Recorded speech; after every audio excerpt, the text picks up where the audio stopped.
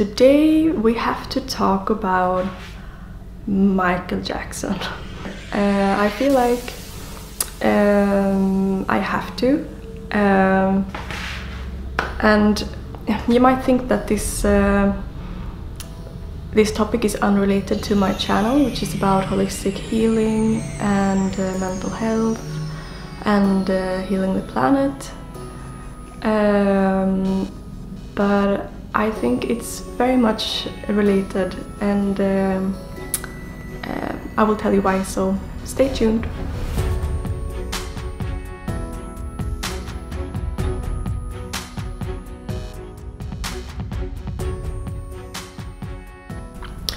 Okay, so first of all, of course, nobody nobody other than Michael Jackson, Michael Jackson and these boys uh, will know 100% what went on.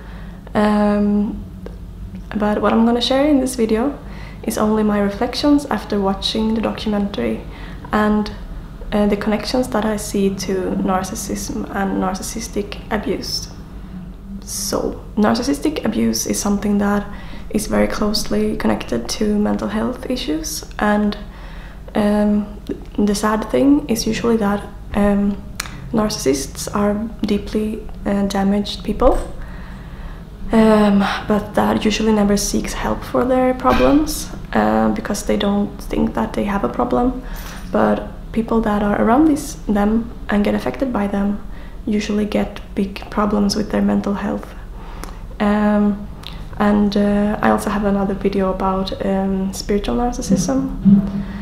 Um, so, um, the signs of narcissism that I saw in this video um, is um, the most the most obvious one is uh, in narcissism there is always like um, a love bombing phase and then there is the discard phase. So in the love bombing phase, um, the victim feels uh, really special and really chosen and like this person that they are meeting uh, is like you know the best person in the world and their lives just got so much better and you know and if it's true what these boys are saying then it's almost like he started like a narcissistic uh, relationship like a romantic relationship with these boys which is just it's so twisted that you can't almost comprehend it. And then after the love bombing, of course, it's the discard phase where all of a sudden, from this person being like, um, yeah, um, chosen one, the special one, then all of a sudden they find a new person that they want to spend their time with, and yeah, and so the first one feels left out and. Um,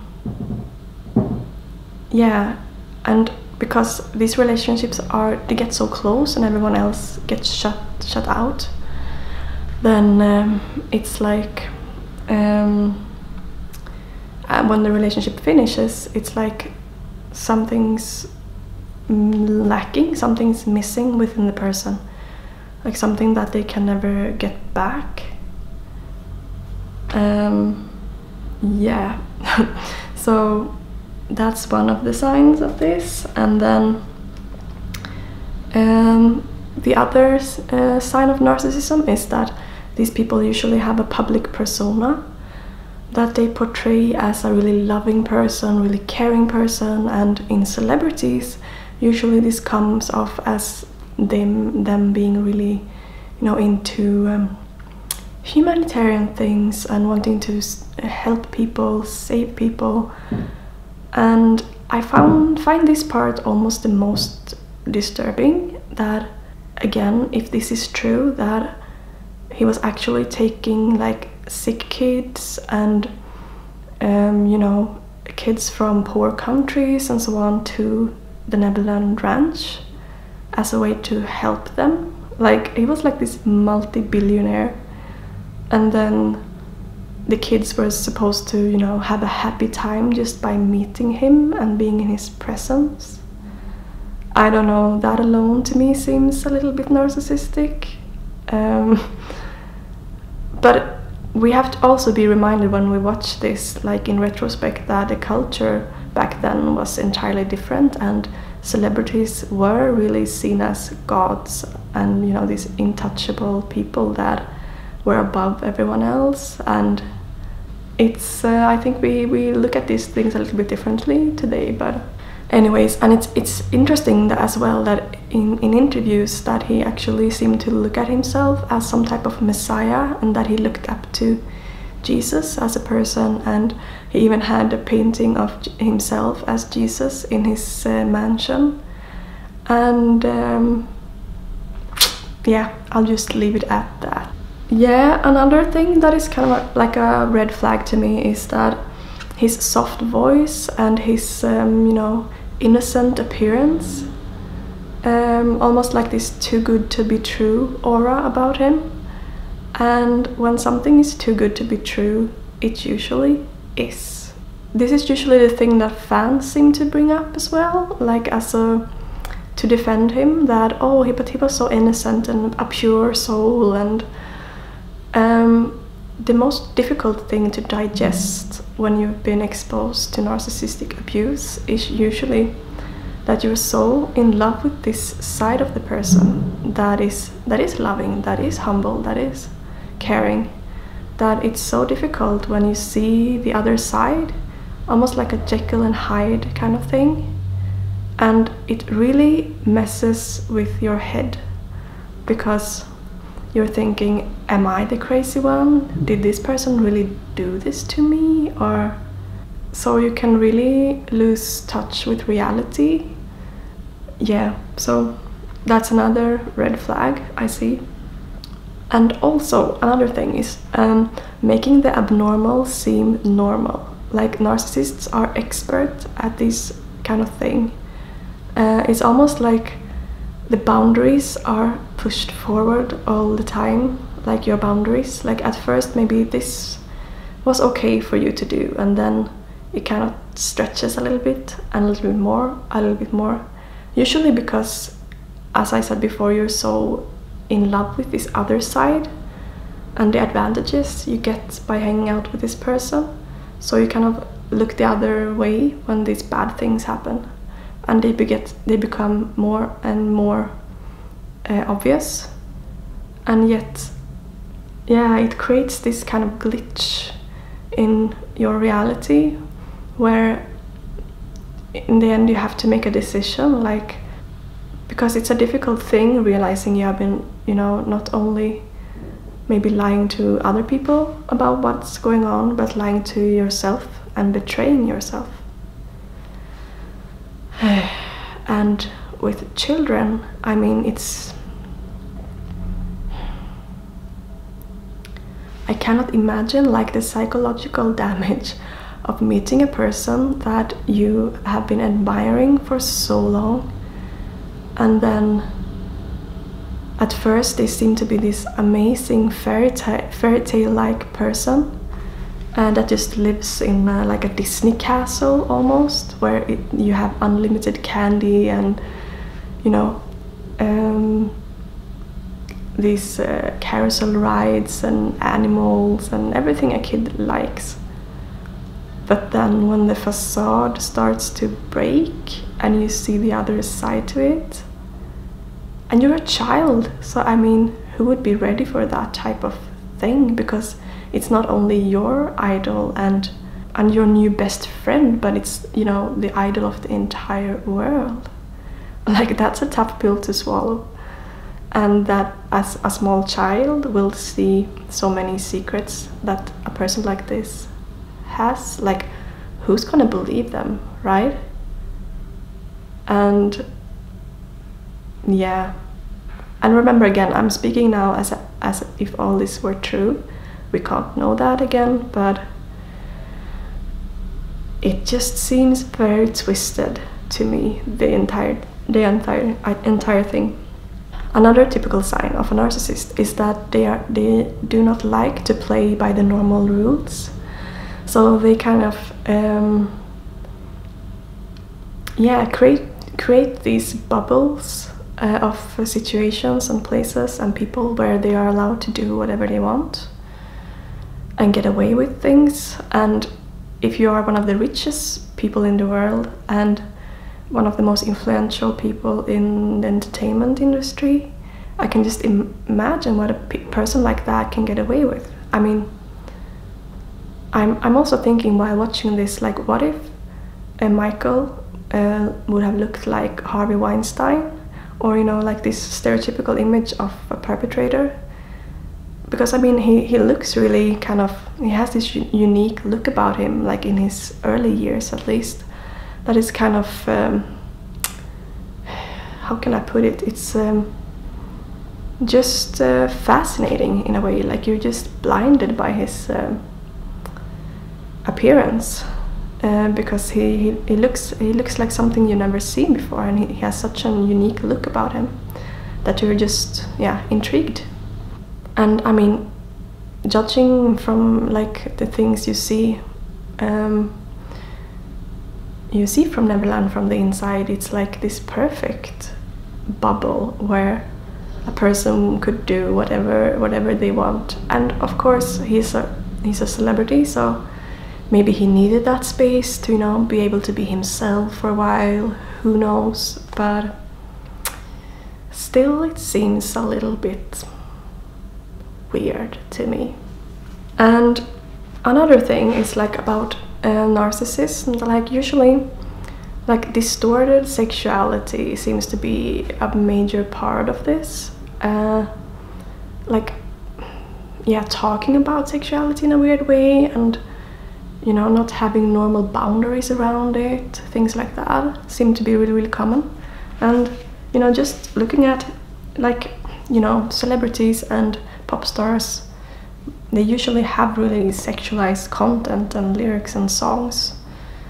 But if you put that in, in, in correlation to like there were almost always kids in his videos and on his shows and things like that and the way he danced i mean was it appropriate for kids? I don't know, right? And then, yeah, like covers like this. And yeah, just really like sexualized kind of content. And it would have been okay if there would be like you know mature people idolizing him. And but mm, it really wasn't a lot of the times, so that's a little bit weird to me as well. Um, and other weird things in this uh, story is that, you know, um, he had songs like Thriller, like here's the album, Thriller. um, yeah, so, so, songs like uh, Thriller and Bad and Smooth Criminal like those were some of his major songs. I mean, they're good songs, good pop songs, right? But if you compare this to the R. Kelly story, um, it's almost like, if this is true, it's almost like they give themselves away in the lyrics, like smooth criminal. I mean, could it be any more obvious than that? And all the pictures of these little boys wearing like the thriller t-shirt and then Michael Jackson standing in the background with a hand on their shoulder or always touching them in some way like why would a grown man want to be in pictures with kids all the time like that touching them and I feel like if if this is all true like then he would have two ways of trying to you know get away with this. And it would be the one way would be to try and hide it completely which obviously was not the way he, cho he chose. The other uh, road would be to be really obvious about it and claim that yeah but i just like kids. I like to hang around kids and i just want to you know uh, give them a better life and yeah somehow it feels like an even tougher pill to swallow if it's all true that he was actually doing this very, very openly. You know, hiding in plain sight kind of thing. So, if that's true, then it really is like a thriller. Because you hear all these stories about like a young kid who had cancer and Michael came to save him and spend time with him and uh, yeah, you know, different stories like that, like Sean Lennon. He had lost his father, right? And then Michael showed up as like a new father figure for him. And yeah, by the way, uh, Sean Lennon also made a music video about, yeah, kind of his experience with Jackson. I, I will post it below and you just watch it if you have the courage to, and then let me know what you think. Um, yeah, so I mean, this is just it's just too weird. So it's it's really difficult once you start to watch these things to kind of stop because it's just it seems too weird to be true, too weird to be I don't know, it's just weird basically. Another thing that seems really weird to me is that to me this guy seems I mean he seems so obviously gay. Like look at this photo. Like he really looks gay. I mean he always wears this makeup, he wears even wears lipstick and he talks like a woman and he I mean you don't have to talk like a woman to be gay obviously but I mean I'm even thinking maybe he was even like transgender bef before it became like a you know a thing. And then it's really more amazing to me like today people who are openly gay i mean he wasn't open about it obviously and we don't know if he was gay but um, today people who are gay receive so much hate i mean it seems like over in the states and, and and things like that so for him to kind of get away with that if he, he was really gay seems astonishing like uh, yeah, people didn't even suspect that he was gay. And to me, my gaydar kind of goes me, me, me, me. But hey, who am I to judge, right? But for example, like if you think that no, he wasn't gay, right? He couldn't have been. Then I think it's weird that there are like hundreds of photographs of him appearing with young boys um, looking at them lovingly, holding them, holding their hand, talking with them, and so on. But there are not a lot of pictures of him talking to women his age, uh, or you know, kissing women or holding hands with women. Um, and you know, a pop star of his, uh, you know, power and influence and money he could have any woman that he would have liked. He could basically have a har harem of women around him, right? And most pop stars did. They did have harms of women, and some things that went on with them weren't probably that nice either. But that's another story. Uh, I also wonder, like oh, these things, like you know, sleepovers with little boys and uh, you know holding hands with little boys things like that wouldn't would he have got away with that if he would have looked like a normal man his age like Harvey Weinstein for example Weinstein I don't think so right? Or uh, if it would have been young girls I think that would also have seemed weird. Or we have i think like the public would have been more worried somehow. Because if it's a taboo subject to talk about um, child molestation and child child abuse you know of little girls then child abuse and sexual molestation of little boys is even more difficult to talk about in our culture because yeah because of a lot of reasons right? Um, because the boys they, they grow up to you know grown men and they don't want to you know appear gay or they don't want to seem gay or you know a common thing with you know sexual abuse victims is also that they have shame around it because maybe they liked some part of these acts or they and then it makes them question things like you know did i make this happen? Was it my fault? And so on. So that's a very common thing about yeah sexual abuse victims and so on that they blame themselves. Uh, so there, there's just so many um, layers to this story. Um, hmm. Another thing that seems weird is like a little bit of what I talked about before is that like this innocent and sweet aura about him and being like a humanitarian or he was such a good person he helped so many people but then at the same time living in like a huge mansion having a huge amount of staff working for him and um, I, I don't see anything humble about his lifestyle at all and having big statues of himself in this mansion. I mean it could have been you know just a fun thing to do. And um, I mean he was a pop star after all so it, of course who's gonna you know live out their ex eccentricities if, it, if not for them? But um, it comes to this limit where it's not fun anymore. It's just it's almost a little bit offensive. At least if you're at the same time time trying to portray yourself as like yeah this messiah figure trying to save everyone and so on.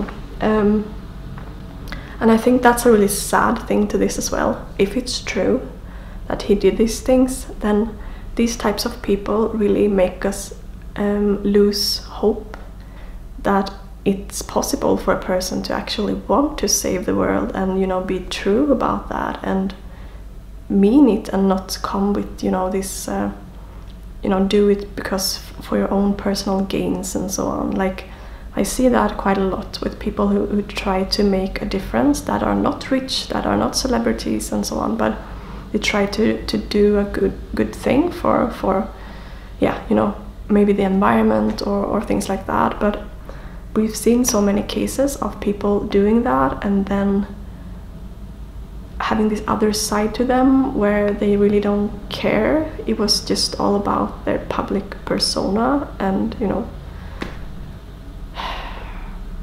So yeah, if it's true, it's just so evil, evil and twisted that I almost can't wrap my head around it. And I think I will have to um, process this for a while because it also gives you like a glimpse of like Hollywood culture because there have been so many famous kids hanging around this estate, right? Like Macaulay Culkin and Aaron and Nick Carter and uh, Sean Lennon and uh, all these other celebrities were there, right? So you start to wonder, like, okay, if this person was this crazy, you know, if this was true, then how crazy are all these other people? How crazy is the entertainment industry? How crazy is Hollywood? I mean, Hollywood has this reputation of holy weird, right? And there's all these rumors of these, you know, pedophile uh, circles and things like that. Um, that just seems, you know, super, super evil. And then, but I've I've had a hard hard time believing those rumors, and I haven't read read about them even because I don't want to read too much bad stuff because it kind of messes messes with your head. Um, and then this comes out, and I just had to watch it because, yeah, I just had to. And then it's like cracking this facade of, I don't know, for someone not living in the States, um, all this celebrity culture and, you know, Hollywood and the movies and music is in a way it's a bit magical and it's a bit um, you kind of want to keep your illusions about some things that some things are magical in real life as well. And bubbles burst sometimes and we have to deal with reality. And reality can be tough um, that's another thing that kind of um, amazed me with this documentary is that like yeah what would you choose? Like the comfortable lie or the inconvenient truth? Usually people go for the like the comfortable lies for a long time because they kind of keep us in this um, yeah well-known territory and it kind of makes us believe in ourselves and the world and society and things like that but some things happen and you know it can be hard sometimes to um, yeah really get thrown into the harsh reality of things. Um, and I really understand that if you have been a fan of this person for a long time then and maybe built your identity around him even. But that's another interesting thing like this um, fan culture. I always had a hard time understanding that like why do we make just because some, somebody makes good music and is great at singing and dancing or things like that or, or acting why do they become like gods to us? Like we worship them and mm, it, it doesn't really seem healthy to me. Like i understand the part like going to the concert and enjoying the music and yeah letting the music move you and, and things like that of course. But the person behind it like why is it so interesting to us really i've never understood that part um, and and and the thing as well like um, we all got caught up in this you know backstreet boys thing or you know the spice girls and even to the point of people being in love with these people they had never met and that doesn't seem very healthy to me either. Like it's um, we don't know these people. Like we really don't. And it's also a way of giving away our power when we do that. Um, no matter if this person is guilty or not like it's um, a singer an artist a really talented one. But that's it. And I think that's the only thing we can say for sure that about this uh, documentary that um, I think this fan culture thing has to become a little bit more down to earth. Um, I think that would be uh, great for humanity in, in general if we could do that because we are all great in our own different ways. It's not about just because somebody can sing or dance or act and write that they are special and they are even from another planet or um, no. Like we have to we can't give our power away like that.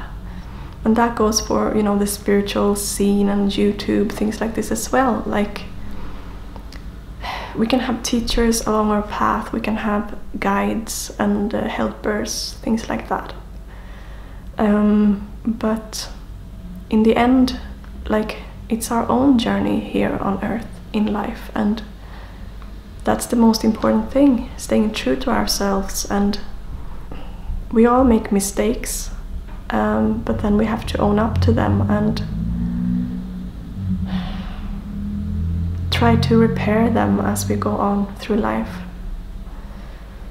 So um, that's the only way of breaking these vicious cycles because that's another thing like it's pretty obvious that Michael seemed to have a really tough childhood. Um, but that's not like an excuse for anyone to do these awful things because then you're just continuing that cycle. And that's what we see often in you know all of us that are working through trauma. You know we know that these behaviors spread like wildfire you know through families and through generations. And so just because somebody was abused and you know plays the victim they still have to own up to their, their actions. They still have to be responsible take responsibility. Because we can't really compare trauma like it's not a competition like who has the most trauma gets to get away with things. No that's not how, not how it works. Mm-hmm. um, and i'm also wondering watching this like did he ever like you know go to therapy or you know? It seems like he didn't but because those were also you know different days and different structures in society at the time so it wasn't that common. Um, but yeah because you know to me if you didn't go to therapy or you didn't try to um, work through the events that happened to him uh, in a healthy way, then how is he gonna be a healthy person? I don't really see that happening, right? Uh, because it takes years of hard work and dedication and healing to get through on the other side and actually live, you know, a decent life after, you know, surviving trauma. So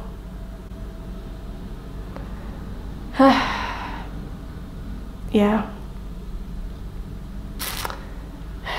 It was just, yeah, a very dark story, no matter if it's true or not. I think the story about uh, Michael Jackson was really, really dark and. Um, but yeah, I think it's a lesson for us to learn in this, and it's that hurt people hurt people, and no matter how innocent somebody might look and no matter what they went through. It's never an excuse for inappropriate behavior in any way. Um, and no fame and no fortune, no amount of money can ever make up for, yeah, for example, a ruined childhood. Um, so it's I think it's also a lesson but about what's important in life um, in the long run. Um, and yeah.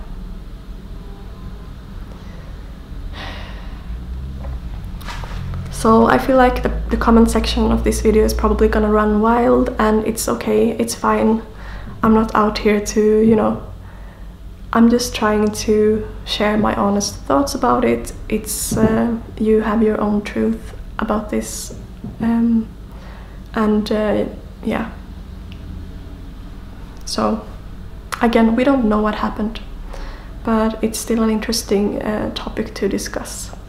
Um, so uh, yeah with that said uh, and uh, it's raining outside and it all feels a little bit gloomy today but uh, I still wish you guys a nice weekend and uh, take care of you take care of yourself and uh, see you again soon. Ciao